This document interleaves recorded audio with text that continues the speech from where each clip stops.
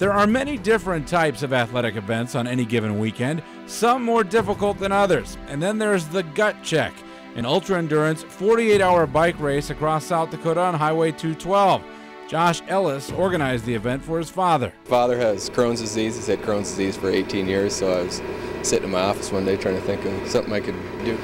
Crohn's disease, it's an inflammatory bowel disease, so it does affect the, the guts, I guess. The, so I decided to call it the Highway 212 Gut Check. Riders up to the challenge were asked to make a donation to the charity and were given customized dog tags at the start of the race.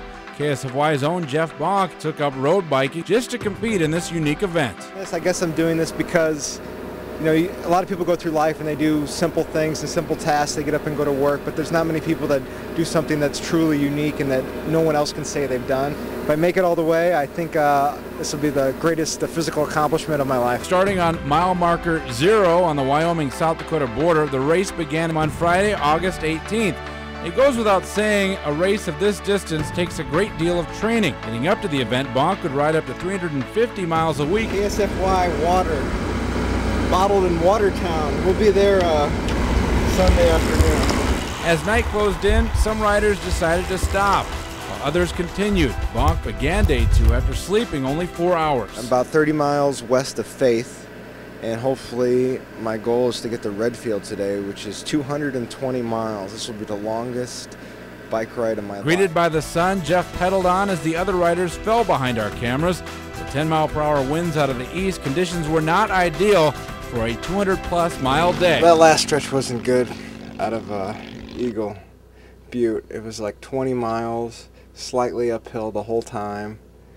The road was in bad shape. Uh, the wind was in my face.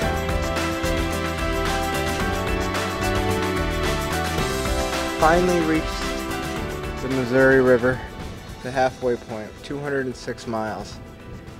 Um, it's taken me exactly 24 hours and 5 minutes. It became a race against himself. Only Bonk had made it far enough to possibly finish in 48 hours or less. I didn't get 220 miles today. I only got 185, which is the longest ever I've ever rode in one day. So tomorrow I got to do 150 miles in one day. With five hours of sleep, a protein drink, and a bowl of soup, Jeff hit the road once again. Well, it's 5:15 a.m. here in Faulkton. I have till 5 p.m. to get to the border. 150 miles. I do not want to ride a bike Pushing today. through the eastern half of South Dakota, Bonk traveled 50 miles to Redfield, then nearly 30 more to Clark. Greeted by Josh Ellis, Bonk received the news that he was the last rider on the road. Watertown's about 33 miles away, and then the border's about another 35 after that. I got five hours. It's going to be tough. Having fought the wind out of the east since Saturday morning, the wind finally realized it was dealing with a special kind of determination. It wouldn't give up and decided to help out. Reaching speeds of 25 miles per hour on flats, Bonk sailed through Watertown on his way to the South Dakota Minnesota border, becoming the first champion of the Gut Check endurance race across South Dakota. like I don't look happy, but I'm happy. I've done a lot of things in my life, but I think this is the, the best because if I finished 48 hours in one second, I wouldn't have been. I would have been devastated. The first winner of the Highway 212 Gut Check. First insane person to try to. Now next year he has to defend the jersey. For KSFY, this is Eric Thorstenson saying 412 miles and 48 hours have passed.